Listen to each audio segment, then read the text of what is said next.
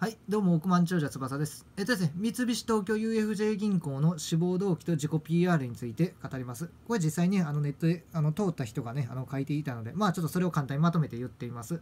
はい、まず自己 PR をお願いします。私は学生時代にアルバイトに一番力を注いでいました。そのアルバイトでは接客と一般事務で頑張りました。そこで一番身についたと思うのがスピーディーな仕事をすることですね。はい、それはお客様に対してもそうですし、社員や上司から信頼された仕事においてもそうです。例えば私は業務の終業間際に7000部のチラシを作れと言われたことがありました。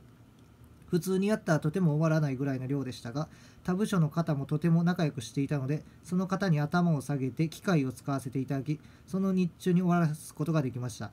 お客様相手の仕事は期限というものが非常に大切です。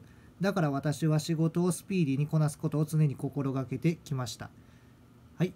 だからですね。で、どこでアルバイトをしていたのですか？えーと、私は語学学校で接客の仕事、また会計事務所で一般事務の仕事をしてきました。はい。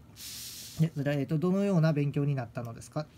はい。で語学学校でも会計事務所の方でも本当に様々な年代のお客様がいらっしゃいました。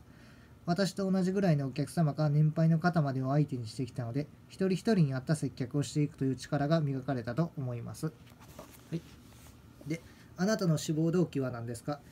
はい、えーと、私は王校のファイナンシャルプロフェッショナルの仕事に大変興味を持っています。ファイナンシャルプロフェッショナルはお客様の資産運用をはじめ、ライフプランの相談役でもあり、えー、とまた、恩子の顔としてのプライドを持って仕事ができて、いろんな意味でやりがいを感じます。私は自分のライフスタイルであったりキャリアであったりその部分を考えた時に自分はジェネラリストよりもプロフェッショナルなスペシャリストになっていきたいとずっと思っていました。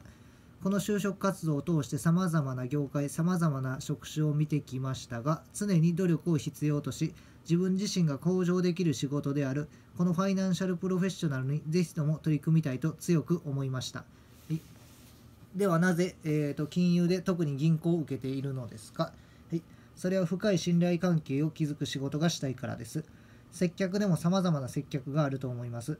まあ、例えば航空業界だと流れるような接客です。私がやりたいのはもっと深い絆ができる接客です。それが銀行の接客です。人生設計であり資産運用という人の一番話したくない部分、お金の部分を話さないといけないというところで、本当にその人は心を割れる割れる相手にならないといけない、ならなければいけないです。ここにすごくやりがいがあるとか思いました。また、資格をたくさん取ったり、専門能力を常に磨いていく必要がありますので、自分の知識、能力が大変向上します。以上が銀行を受けている理由とのことですね。はい。タイマープレゼント企画やってますので、よければ近日中の動画からご参加をお願いします。Twitter もやってますので、チャンネルホーム概要欄 URL 貼ってますので、そちらからフォローお待ちしております。では、終わります。